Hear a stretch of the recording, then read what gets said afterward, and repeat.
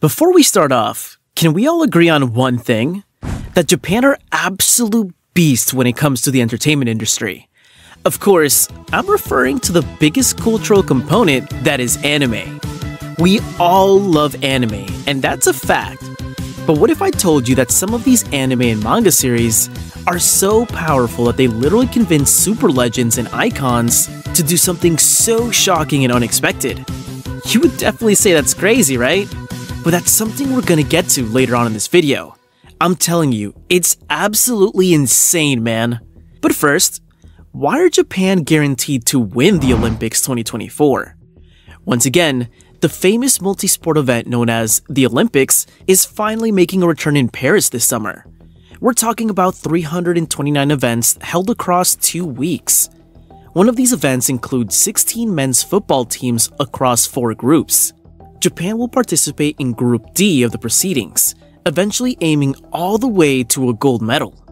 The question brought forward by many is, how will the Japanese manage such a feat? Well, there are a number of ways this can happen. For one, Japan could, let's say, smash the subscribe button, am I right? Come on, click it. This way, you will not, I repeat, you will not miss videos from Footballholics. We're just mad drunk about football, and if you are too, smash that button. But anyway, back to the Olympics and how Japan can clinch a first ever gold medal. It's worth mentioning that the Japanese have in fact seen Olympic success in the past, coming from 1964, where they won bronze after beating the likes of Argentina, France, and Mexico. Speaking of history, the J League is the hub of Japanese football development, with every player on Oiwa Go's roster having come through a J League club ahead of their professional careers. Notable stars include Sota Kawasaki of Kyoto Sanga FC and Takai Kota of Kawasaki Frontale. Since its establishment in 1993, the J League has become somewhat of a mass factory when it comes to talent production. Within the older generation, Shinji Kagawa and Hidetoshi Nakata are some of the most successful players to make it in Europe, having started at the J League. Kagawa began his career at Cerezo Osaka before moving on to clubs such as Manchester United and Borussia Dortmund. Hidetoshi Nakata started off at Shonan Bellmare before taking his talents to Italy, where he played for AS Roma and Fiorentina. Heck, even going as far as to be nominated in the 98, 99, and 01 Ballon d'Or. He was even named by Pele in the FIFA 100. Moreover, the creation of the league attracted some of the biggest names in Europe at the time. The likes of Gary Lineker and famous Brazilian icon Zico would spend the latter years of their careers playing for Nagoya Grampus and Kashima Antlers respectively. In fact, Zico had actually come out of retirement to help the Kashima Antlers become the first team to win the J-League, which was their first mark of domination on the domestic stage. The Kashima Antlers is one of the most successful clubs in Japan, having won the J-League a record 8 times the Emperor Cup five times, and the AFC Champion League once. Furthermore, it is no coincidence that the Japanese managed to win the Asian Cup literally the same year of the league's inaugural season, beating the Saudis one goal to zero. The league's development would go on to achieve substantial success, attracting more big names in the likes of Andres Iniesta, who repped Vissel Kobe, scoring a total of 114 goals and winning the league the Emperor Cup as well as the Japanese Super Cup. Before him, Cameroon's Patrick Mboma was one of the deadliest strikers in the early 2000s and late 90s. His performance in the 2000 Sydney Winter Olympics earned him a gold medal, as well as a phenomenal debut in the J League, where he bagged 29 goals in 34 games. Right from the other side of the pitch, defender Guido Buchwald spent 11 seasons in the Bundesliga before his individual success in the J League. In 1995 and 1996, he was named in the J-League Best 11 as a defender for the Urawa Red Diamonds. Perhaps one of the biggest recruitments of the J-League was Fernando Torres. The Spanish forward is part of the golden generation that achieved subsequent domination in both Euro 2008 and 2012, as well as the 2010 World Cup. A Champions League winner, a two times Europa League winner, a two times European Championship winner, a World Cup winner, and a man who scored well over 200 goals. what inspired him to become a footballer of this caliber?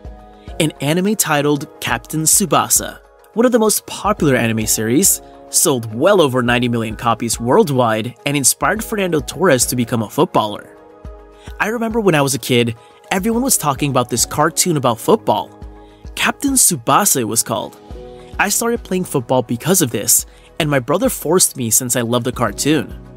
Oiwa Go is the manager taking charge of the Blue Samurais this summer. In his 18-man squad, he has opted for no overage players and has stuck solely with players 23 years old and under. We have pride and confidence as Asian champions. We're not going for the experience. We're going to win a medal and the players understand the responsibility. Though the prospect of advancing in a group with Mali, Israel, and Paraguay seems attainable, it'll be the knockout stages where Japan will need to be convincing. However, without the likes of Takefusa Kubo, arguably one of their brightest talents, it'll prove to be a difficult task. On top of that, Japan had initially managed to secure the services of Wataru Endo. However, in the grand scheme of things, it always seemed a long shot since the midfielder plays for Liverpool in the Premier League. Coach Oiwa Go will also be without FC Tokyo attacker Matsuki Kuryu, Japan's current wonder kid and the reigning AFC Youth Player of the Year. Instead, Go will have to rely on the other talent at his disposal. At his young age, 22-year-old defender Sota Kawasaki is a Japanese prospect who has undoubtedly become one of his best players. His defensive prowess has been one of the guiding factors in sealing a 13th place finish for Kyoto Sanga FC, the club's best in the division since 2009. 19-year-old Takai Kota is a player that draws comparison to Europe's wonder kids in Kobbie Mainoo and Rico Lewis, due to his wise beyond years football IQ. He's gained recognition as one of Japan's most talented young players, playing well over 1500 minutes of football. A center back who specializes in strength, in-game intelligence, as well as superb recovery speed, the youngster was instrumental in his side's victory over Vissel Kobe, grinding out a clean sheet as his team won the Japanese Super Cup back in February. With that said, although the manager has lost major star power as clubs refuse to let players participate in the Olympics, there's no doubt Japan can shake things up and deliver come July 26th. After all, they have youngsters with immense experience playing in the J League, a tier that has in fact gained recognition in recent years for producing talented footballers. Kaoru Mitoma of Brighton, World Cup hero Ritsu Doan, Takehiro Tomiyasu, and Takumi Minamino, to name a few. I mean, just look at this kid gliding against Pep Guardiola's Man City. What do you think? Does Japan have a chance? Heck, even the slightest of chances? Let us know in the comments down below.